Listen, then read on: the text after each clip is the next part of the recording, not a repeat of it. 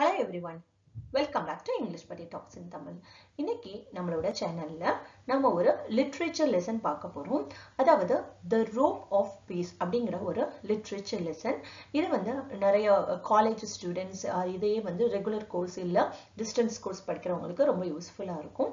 இது ஒரு short story இதை எழுதினது ரைட்டர் யார் அப்படின்னா ஓ ஹென்ரி ஸோ இந்த லெசனுடைய இங்கிலீஷ் டு தமிழ் எக்ஸ்பிளனேஷன் பார்க்கலாம்.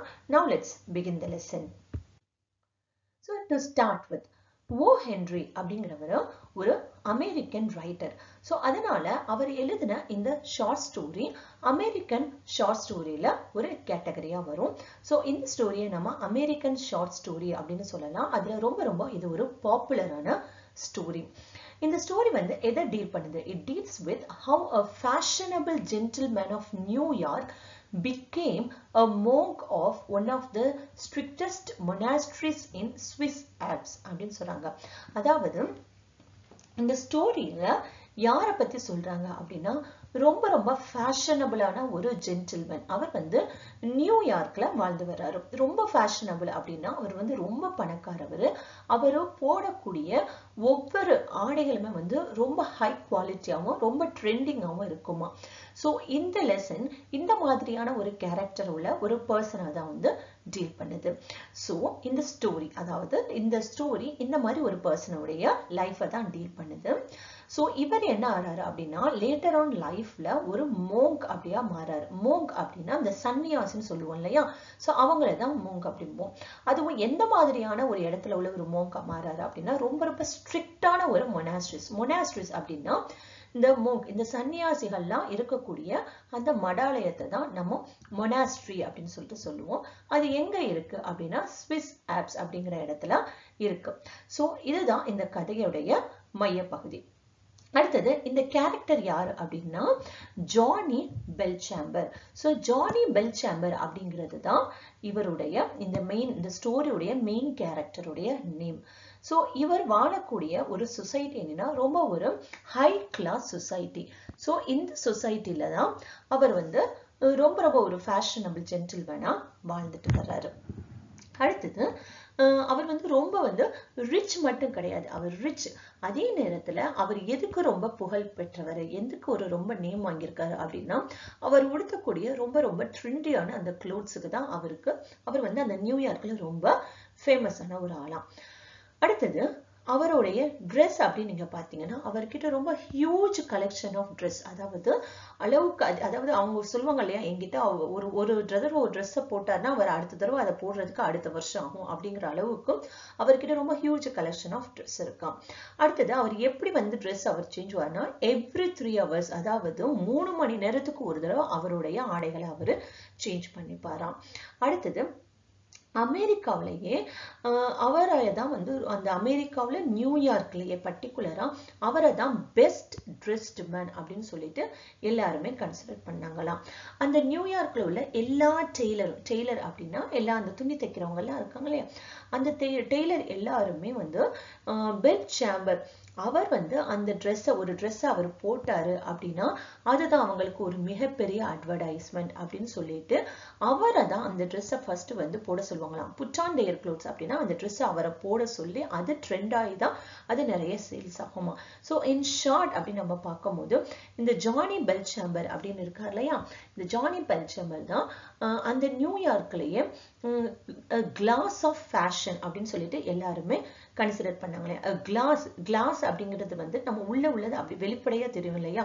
டிரான்ஸ்பரண்டா வெளிச்ச வெளி வெளிச்சமா தெரியும் இல்லையா? அந்த மாதிரி அந்த ஃபேஷன் அப்படிங்கிறதுக்கு ஒரு பெயர் யாரு அப்படின்னா அது ஜானி பெல்சாம்பர் அப்படின்னு வந்துட்டு சொல்றாங்க.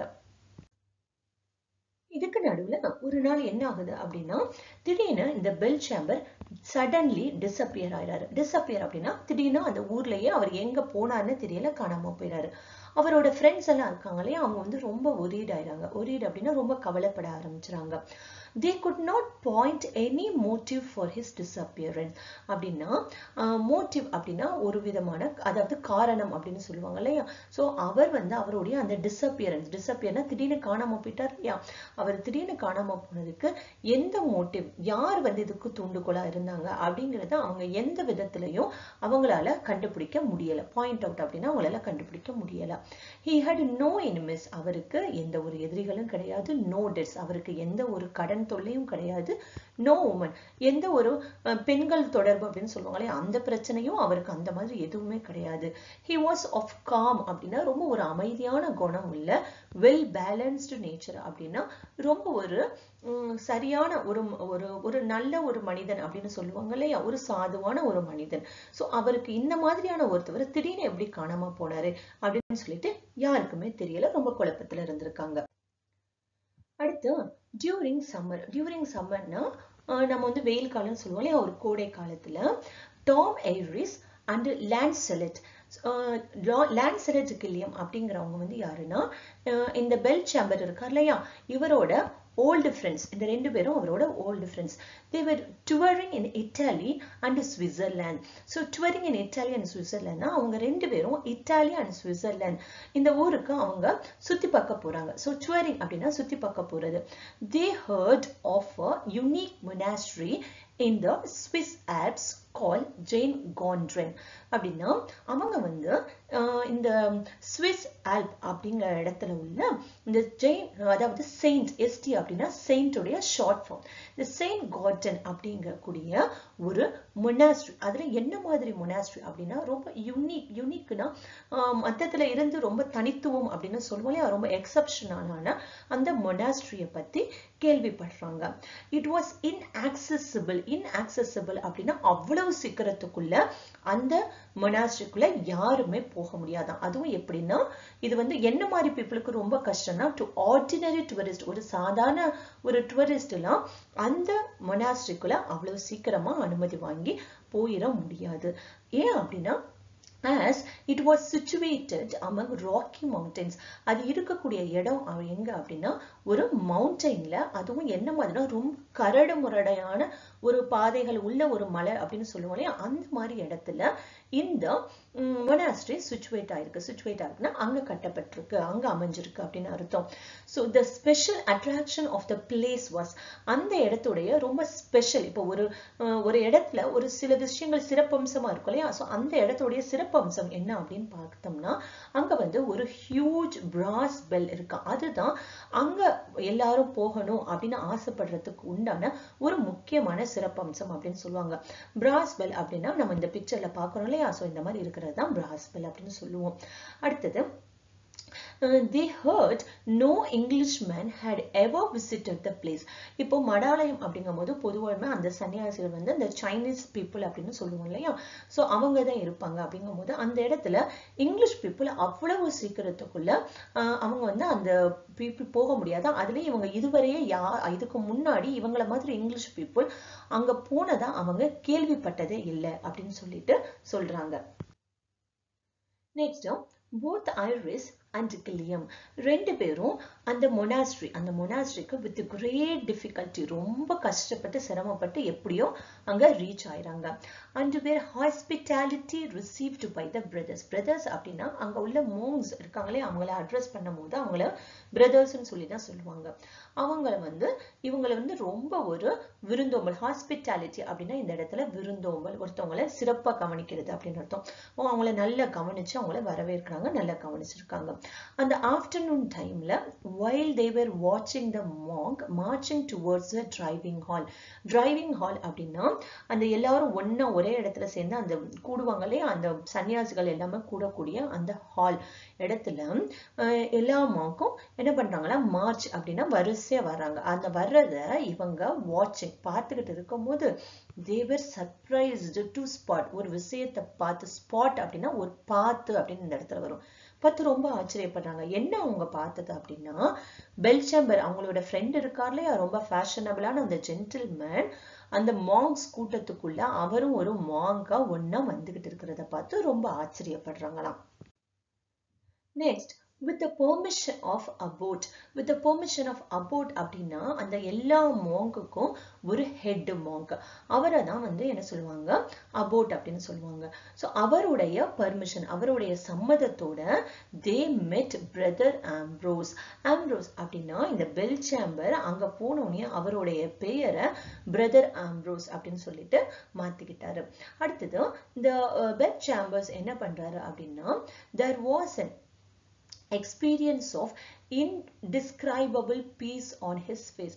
So இவரை வந்து போய் அவர்கிட்ட போய் பேசும்போது இவரோட அவருடைய முகத்துல வந்து என்ன தெரியுது அப்படின்னா இன்டிஸ்கிரைபபிள் பீஸ் இன்டிஸ்கிரைபபிள் பீஸ்னா வார்த்தையால சொல்ல முடியாது அப்படிம்பாங்க இல்லையா? ஸோ வார்த்தையால வர்ணிக்க முடியாத அளவுக்கு அவருடைய முகத்துல ஒரு அமைதி உணர்வு தெரிகிறத இவங்க வந்து எக்ஸ்பீரியன்ஸ் பண்றாங்க. அதாவது உணர்றாங்க. அவர் எந்த மாதிரி ட்ரெஸ் போட்டிருக்காரு? க்ளோத் அப்படின்னா ஹி வாஸ் க்ளோத்னா என்ன மாதிரி ஆடை அணிஞ்சிருக்காருன்னா ஒரு ஒத்த துணி தான் சிங்கிள் கார்மெண்ட்னா ஒரு ஒத்த துணி அதுவும் ஒரு ரஃப் ப்ரௌன் க்ளோத் அப்படின்னா ரொம்ப ஒரு சாதாரண மெட்டீரியல்னு சொல்லுவோம் இல்லையா? அந்த மாதிரி ஒரு ரஃப்பான ஒரு ப்ரௌன் கலர்ல உள்ள ஒரு ஒத்த துணி காலு வரைய நல்லா வலிஞ்சிருக்க மாதிரி. பொதுவாக சன்னியாசிகள்லாம் நம்ம ஆடைகள் போட்டிருப்பாங்க பார்த்துருப்போம் இல்லையா? ஸோ அந்த மாதிரி ஒரு ஆடையை உடுத்திட்டு இருக்காரு. ஸோ எப்படி ஒரு ஃபேஷனபிளான ஒரு ட்ரெஸ்ஸை வந்து ஒவ்வொரு மூணு மணி நேரத்துக்கு அப்புறம் மாற்றி எந்த அளவுக்கு ஒரு ட்ரெண்டிங் லைஃப்பை வாழ்ந்துக்கிட்டு இருந்தவர் இப்படி ஒரு சாதாரண ஒரு ஒரு ஒரு சன்னியாசி லைஃப்பை ஒரு ஒத்த துணியை ஒரு காலத்துக்கும் அது அதே கலர் அதே துணியை போட்டுக்கிட்டு இப்படி வந்து அவர் மாறுறதுக்கு எப்படி மனசு வந்துச்சு அப்படிங்கிற மாதிரி அவங்க மனசுல நினைச்சிட்டு அவரை பார்த்துட்டு இருக்காங்க. அது மட்டும் இல்லாம மனசுல நினைக்கிறதோட இல்லாம அந்த ஃப்ரெண்ட்ஸ் என்ன பண்றாங்க? பெல் சாம்பர் கிட்ட ரிக்வஸ்ட் பண்றாங்க. என்னன்னா to get a release from the monastery இந்த மொனாஸ்ட்ரிட்ல இருந்து நீ வந்து நீ வேணாம். இது எனக்கு இதோட போதும். அப்படின்னு சொல்லிட்டு நீ ரிலீஸ் ஆகி நீ வெளியே வா அப்படின்னு சொல்லிட்டு கூப்பிடுறாங்க. அதுவும் எங்க கூப்பிடுறாங்க? டு அக்கம்படி அக்கம்படினா எங்க கூட நீ நியூயார்க்கு வந்துரு அப்படின்னு கேட்குறாங்க பட் ஆனா பெல் சேம்பர் என்ன சொல்றாரு அப்படின்னா he was entirely happy there அப்படின்னா இங்க நான் முழுக்க முழுக்க இங்க நான் ரொம்ப சந்தோஷமா இருக்கேன் அப்படின்னு சொல்லிட்டு சொல்றாரு. ஸோ இவர் வந்து இந்த பெல் சேம்பர் இந்த ஹீங்கிறது இந்த இடத்துல பெல் சேம்பரை சொல்லுது. இந்த பெல் சேம்பர் வந்து முடிவு பண்ணிடுறாரு. என்ன முடிவு பண்ணுறாருன்னா அவருடைய ரெஸ்ட் ஆஃப் லைஃப்பை நம்ம இங்கேயே கழிச்சிடணும் அப்படின்னு முடிவு பண்றாரு. ஸோ அவங்க இந்த பேசிட்டு இருக்க அந்த நேரத்துல அந்த கிரேட் பிராஸ் பெல் இருக்கு இல்லையா? அதாவது அந்த அந்த ஆலயத்துல உள்ள அந்த பெரிய வந்து மணி ஆலய மணி அப்படின்னு சொல்லுவாங்க இல்லையா? ஸோ அதனுடைய சத்தம் கேட்குது ரேங்னா அதனுடைய அடிக்கிற சத்தம் கேட்குது அது எதுக்குண்டான சத்தம் அப்படின்னா சம்மனிங் டு இமீடியட் டிவோஷன் டிவோஷனா எல்லாரும் அந்த டைம்ல அவங்க வந்து ப்ரேயருக்கு போகக்கூடிய ஒரு நேரம். ஸோ சம்மனிங் அப்படின்னா ஒரு குறிப்பிட்ட ஒரு காரணத்துக்காக எல்லாரையும் கூப்பிடுறது. அதாவது நம்ம ஸ்கூல்ல ஸ்கூல் ப்ரேயர் பெல் அடிக்கணும் அடிக்கும் இல்லையா? ஸோ இதெல்லாம் நம்ம வந்து சம்மன் அப்படின்னு சொல்றோம். சம்மன்னா ஒரு விஷயத்துக்காக ஒருத்தவங்க எல்லாரையுமே ஒரு ஒரு அனௌன்ஸ்மெண்ட் கொடுத்து கூப்பிடுறது. ஓகே ஸோ இதை வந்து கேட்டோடனே வித்தவுட் எனி அனதர் வேர்டு எந்த ஒரு வார்த்தையுமே பேசாம பெல் சேம்பர் லெஃப்ட் தம் அவரை அவங்கள விட்டுட்டு அந்த இடத்த விட்டு கடந்து போயிடாரு எப்படி போறாரு அப்படின்னா with a wave of hand அப்படின்னா கை அப்படியே டாட்டா காமிச்சிட்டே போறது இல்லையா? அந்த மாதிரி போறாரு. ஸோ இந்த ரோப் ஆஃப் பீஸ் அப்படிங்கக்கூடிய இந்த ரொம்ப ஒண்டர்ஃபுல்லான ஒரு ஸ்டோரி எதை பத்தி சொல்லுது அப்படின்னா ஒரு யங் அமெரிக்கன் அதாவது அவர் வந்து ஒரு ரொம்ப ஒரு கூலான ஒரு கை அவருடைய ஒரு கிரேட் டிரான்ஸ்ஃபர்மேஷன் ஸோ அவருடைய அந்த யங் ஜென்டில்மேன் அதுல இருந்து ஒரு மாங்கா வந்து மாறக்கூடிய அந்த டிரான்ஸ்ஃபர்மேஷனை தான் இந்த ஸ்டோரி கொண்டு வருது. அது மட்டும் இல்லாம அவர் கடைசியில வந்து எப்படி அவருக்கு பீஸ் அப்படிங்கிறத எப்படி அச்சீவ் பண்றாரு அப்படிங்கறது இந்த ஸ்டோரி சொல்லுது. ஸோ அதனாலதான் இந்த ஸ்டோரியோட பேர் என்ன அப்படின்னா த ரோப் ஆஃப் பீஸ் அடுத்து இந்த ஸ்டோரியில வரக்கூடிய இந்த கேரக்டர்ஸ் எல்லாமே ஒரு சின்ன ரிவ்யூ ஒரு ரீகால் பார்த்துடலாம். பெல் சேம்பர் இவர் தான் இந்த ஸ்டோரியுடைய ப்ரொட்டகானிஸ்ட் ப்ரொட்டகானிஸ்ட் அப்படின்னா ஒரு ஸ்டோரியுடைய ஹீரோ அப்படின்னு சொல்லுவோம் இல்லையா? அதாவது மெயின் கேரக்டர் அடுத்தது பிரதர் ஆம்ப்ரோஸ் பிரதர் ஆம்ப்ரோஸ் அப்படிங்கிறது அவர் மோங்க் அதாவது ஒரு சன்னியாசியா சேஞ்ச் ஆனதுக்கு அப்புறம் வச்சுக்கிட்ட பேரு. அடுத்தது டாம் ஐரிஸ் அண்ட் லேண்ட்செலட் கிளியம் அப்படிங்கிறது பெல் சேம்பர்ஸுடைய ஃப்ரெண்ட்ஸ் நேம் அடுத்தது அபோட் அப்படின்னா அந்த ஹெட் ஆஃப் மாங்க் அவங்கள அபோட் அப்படிம்பாங்க. ஸோ இது வந்து ஒரு காமன் நேம் இந்த நம்ம ஃபர்ஸ்ட் பார்த்தது எல்லாம் என்னென்னா ப்ராப்பர் நேம் இது காமன் நேம் அடுத்தது அமெரிக்கா. இவர் வந்து ஒரு அமெரிக்கன் ரைட்டருங்கிறதுனால இந்த ஸ்டோரி நடக்கக்கூடிய இடத்த இடம் என்ன அப்படின்னா அமெரிக்கம் இது எல்லாமே வந்து செட்டிங்ஸில் வரும். ஓகே ஸோ செட்டிங்ஸ் அப்படின்னா இந்த ஸ்டோரி நடந்த இடத்த அதாவது அந்த பிளேஸ் ஆஃப் ஸ்டோரி அப்படிங்கிறத தான் நம்ம செட்டிங் அப்படின்னு சொல்லுவோம். ஸோ அடுத்தது அமெரிக்காவில் நியூயார்க்குங்கிற சிட்டியில தான் இந்த ஸ்டோரி நடக்கிறதா வருது. அடுத்தது ஸ்விஸ் ஆப்ஸ் ஸ்விஸ் ஆப்ஸ் அப்படிங்கிறது தான் அந்த மொனாஸ்ட்ரி இருக்கக்கூடிய இடம். இட்டாலி அண்ட் சுவிட்சர்லாந்து இந்த ரெண்டு பிளேசஸுமே அந்த ஃப்ரெண்ட்ஸ் அவங்க வந்து சுற்றி பார்க்கக்கூடிய இடமா இந்த இடத்துல கொடுக்கப்பட்டிருக்கு. ஸோ இந்த ஸ்டோரியில் நீங்கள் இங்கிலீஷ் லிட்ரேச்சர் அப்படின்னு இருந்தாலுமே நிறைய வெக்காபுலரிஸும் லேர்ன் பண்ணியிருப்பீங்க. இந்த ஸ்டோரியுடைய எக்ஸ்பிளனேஷன் உங்களுக்கு பிடிச்சிருந்தது அப்படின்னா மறக்காம கமெண்ட் பாக்ஸில் மென்ஷன் பண்ணுங்க. இதை மாதிரி நிறைய வீடியோஸ் இந்த சேனலில் இருக்குது அதை நீங்கள் பிளேலிஸ்ட்டில் போய் பார்க்கலாம். டில் ஐ மீட் யூ இந்த next video take care thank you very much